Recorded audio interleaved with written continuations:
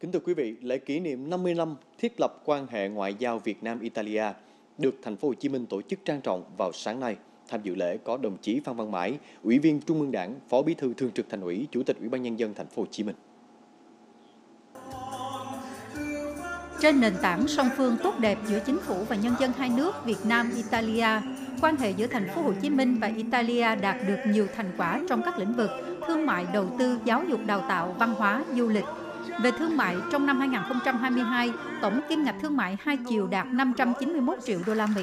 Về đầu tư, tính đến ngày 20 tháng 2 năm 2023, Italia có 64 dự án đầu tư tại thành phố với tổng vốn đạt 85 triệu đô la Mỹ, đứng thứ 26 trên 117 quốc gia và vùng lãnh thổ có đầu tư tại thành phố. Các con số này là đáng khích lệ mặc dù vẫn chưa tương xứng với tiềm năng của hai bên.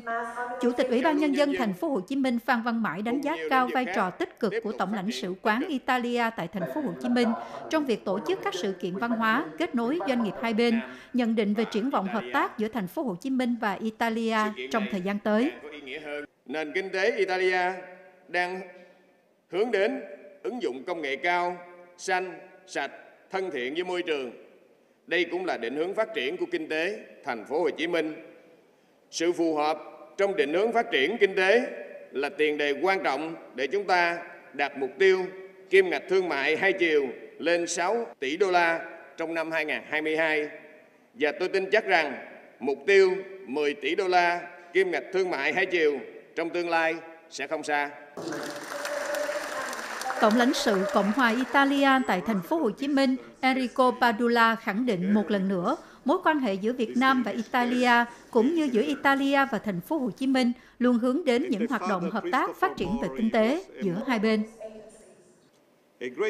Phần lớn quan hệ kinh tế giữa hai quốc gia tập trung ở thành phố Hồ Chí Minh và các tỉnh lân cận. Nơi đây có 2 phần 3 nhà đầu tư và doanh nghiệp Italia đóng góp những con số rất tích cực trong thương mại song phương. Kể từ khi đại dịch kết thúc, chúng ta được chứng kiến một lần nữa sự quan tâm mạnh mẽ của các doanh nghiệp Italia đối với thị trường Việt Nam, trong khi đó hoạt động xuất khẩu của Việt Nam sang Italia còn tốt hơn trước. Tôi chắc chắn rằng còn nhiều lĩnh vực mà hai nước có thể hợp tác hiệu quả vì lợi ích chung.